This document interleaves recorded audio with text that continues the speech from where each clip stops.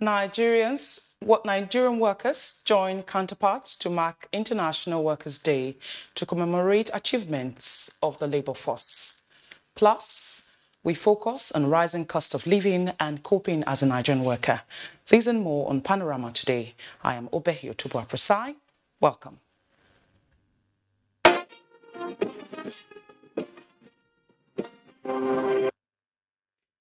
Improved welfare and better remuneration are on the front burner as workers in Edo State join their counterparts globally to mark this year's Workers' Day, commemorated every May 1st.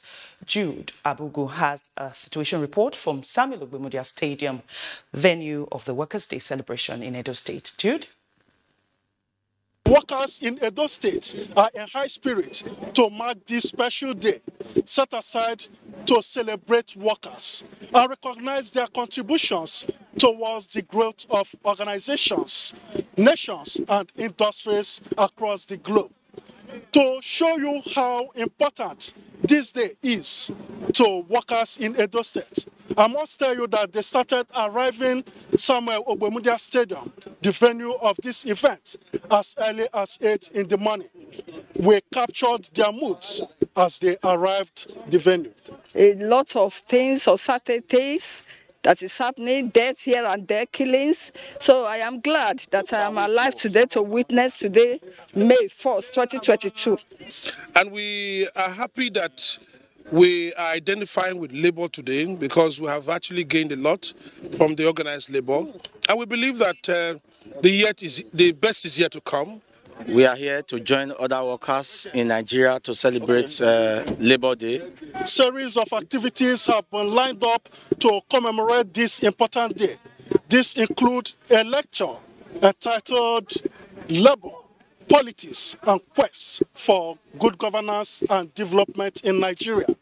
This is the situation from uh, Samuel Ogbemudia Stadium as we await the arrival of the state governor and other government officials for the event to commence in earnest. Back to you in the studio. The economy has experienced various upheaval in recent times, which has in turn led to harsh realities for the Nigerian residents. The Nigerian worker is forced to navigate the times with little or no increase in salary and the informed sector bearing the brunt of customers' low buying power. Anwuli Okolo ascertained people's coping mechanisms in the present condition.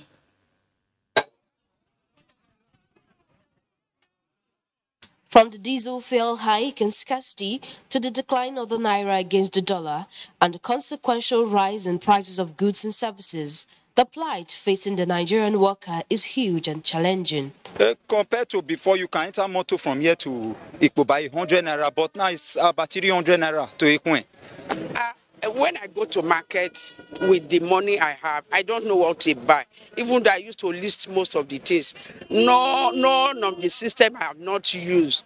No, no job at all. Because if there's job, people will try to work, they'll get money to eat.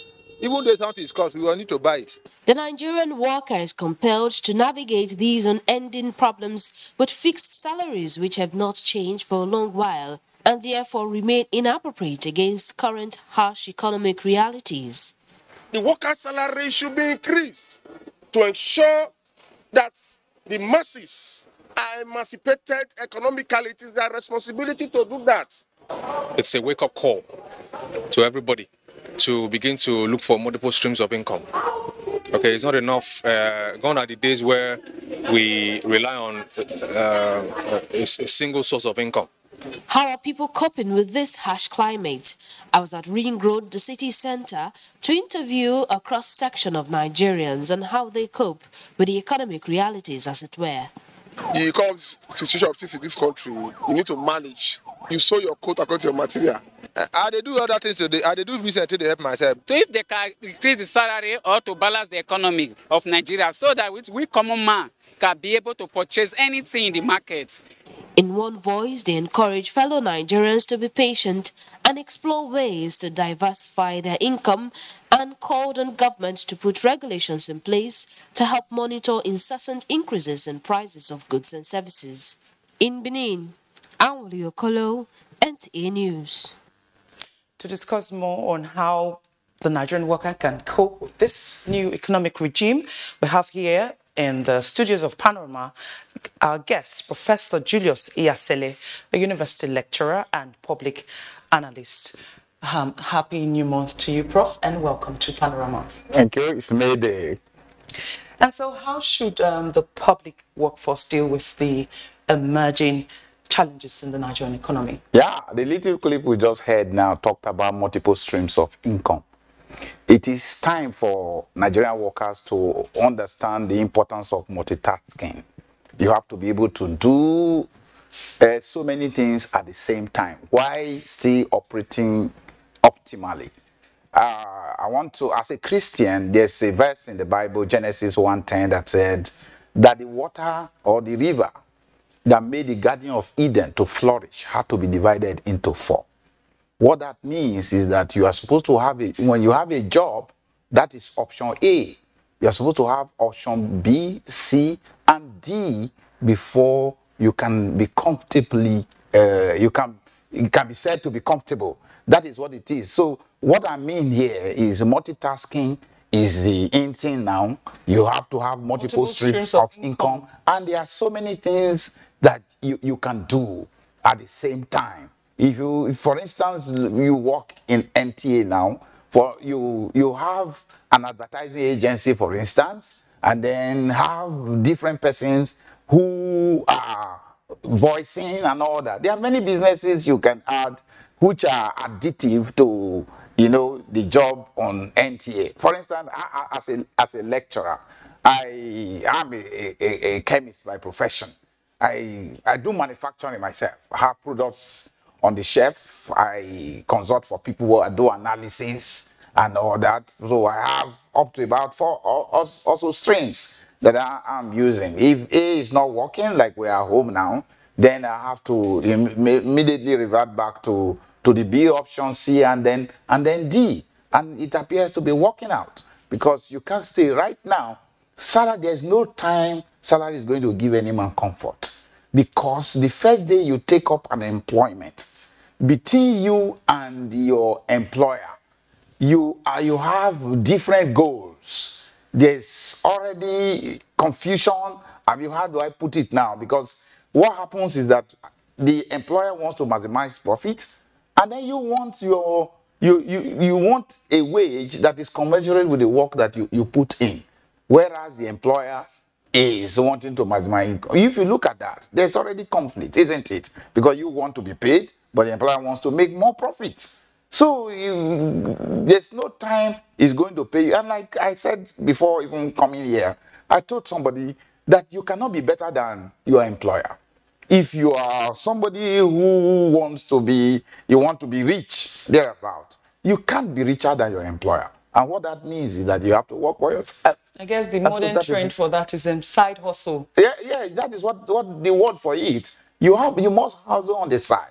There's nothing stopping you, stopping a lady who works here from, you know, doing braiding, you are manufacturing one bag or something and all that. There are so many things, as it were, that we can do at the same time, and even so, if you're not there. So, Prof, how can um, the workforce be made to understand that areas like education, health, and agriculture must be made a priority by government? Oh, how can they be? How, how, can, how can we know if we are not told? So, what that means that uh, we have NOA, what that means that agencies of government like that have to be uh, on their on their toes, working bringing information across to people, telling people the, the truth, really. That is what it is. There's no way that uh, we will know without being told. So, yeah, and it is very succinct. It is very, very, very, very clear. Yes. So, quickly now, what's your message to the Nigerian worker as they mark their day today? I, I wish, I wish them well, but to know that uh, from time immemorial, when somebody sang the song uh, solidarity. uh, he met where if you look, look listen to the uh, the lyrics of that uh, of that song, you understand clearly the position of every every em employee. So my message to them is that I wish them uh, workers day happy May Day, and that they should return back and think of multiple streams. They should develop the spirit of multitasking so that they will be comfortable. Thank you very much. We've had um, guests on Panorama, Professor Julius Iyasele, the university lecturer and public analyst. Um, don't forget that you can follow this news live on our website at NTA ng slash live and on YouTube at NTA News Online. You can also visit our Facebook page at NTA Network News. Our Twitter handle is at NTA News Now and on Instagram at NTA Network for updates. Let's take a break. We'll return shortly. The vaccine offers hope for a safe country free of coronavirus. I urge all state governments, traditional and religious leaders to take the lead in the mobilization effort within their environment and spheres of influence. I similarly urge all eligible Nigerians to present themselves and be vaccinated in accordance with the order of priority already mapped out at the various authorized designated centers only.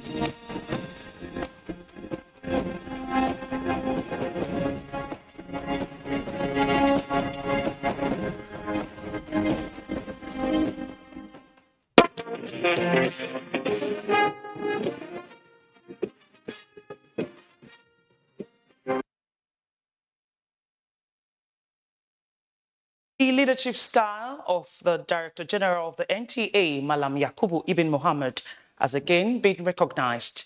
The Role Model Leadership Award did the honors, this time at the formal launch of Young Entrepreneurs and Innovators Foundation in Abuja. Ngozi Technicu reports. With the theme, Youth Entrepreneurship, Panacea for Security and Political Challenges in Nigeria, Organizers of the event appreciated the contribution of the NTA under the leadership of the present Director General Yakubu Ibn Mohammed in the promotion of positive aspirations of Nigerian youths. Now in that club, each and every public and private schools will be captured, where the youths will now be engaged represented by the director multi-channels Yohen Kwange. The DG and other awardees applaud Yi Foundation for the honor done them. Congratulations, We need the youth to prove that they can do it by showing entrepreneurship, showing skills, being innovative so that they can take charge and move this country to the next level.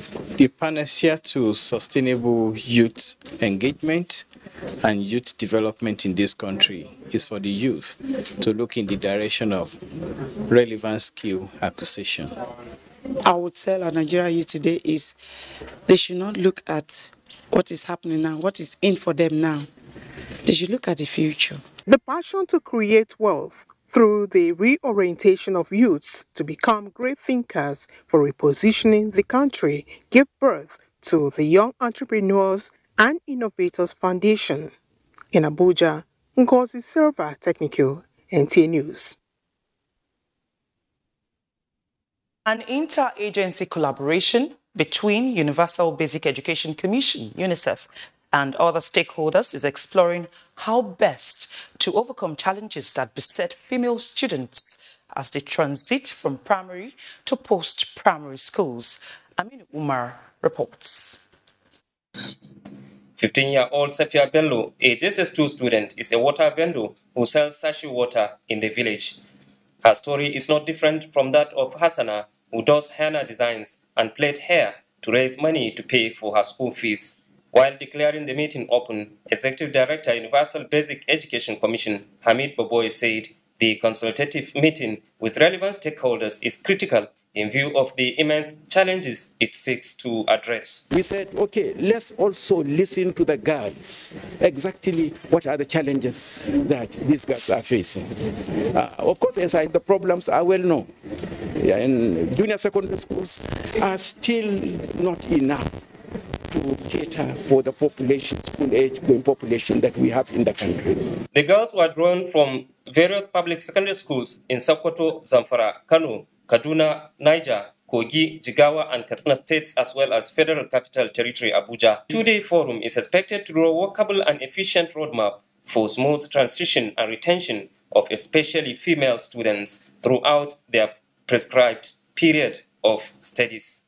In Kano, Amin Umar, NTA News. State government has handed over the defunct State College of Education Ekiadolor to the federal government with an appeal that the school be renamed after Tayo Akpata, a one-time commissioner for education in Old Midwest State. Elizabeth Omoko has the report. There have been issues surrounding the defunct College of Education Ekiadolor, leading to the final closure of the school in 2018. Governor Godwin Obaseki has exploited the window of opportunity provided by the federal government's approval to establish four regular colleges of education and two technical colleges of education in the country to formally resuscitate the school. Governor Obaseki is thankful to the federal government but wants the federal government to give much greater support to the technical components of the college. We have come to realize that if we are going to train a new generation of young people who will produce what they need, who will be self-sufficient in Nigeria, then it must start from the educational system. Minister of Education Maladamu Adamu, represented, says the school will take off in September-October this year, but he appeals to the governor to support the institution with security road infrastructure, and other facilities that will facilitate the development of the school. I wish to request from Edo State government to support this college in the area of scholarships and capital projects, knowing too well it is a special college that involves machineries and the rest of them. The two partners believe that the establishment of the federal college will promote self-reliance and boost technical and vocational education training in Benin. Elizabeth Amako, NTA News. 36 selected cooks from the 18 local government areas of Ondo State are part of the nationwide documentation and training of cooks on the National Homegrown School Feeding Program. The training is at the instance of the Federal Ministry of Humanitarian Affairs, Disaster Management and Social Development in conjunction with Ondo State Government. Olushola Komolafe reports.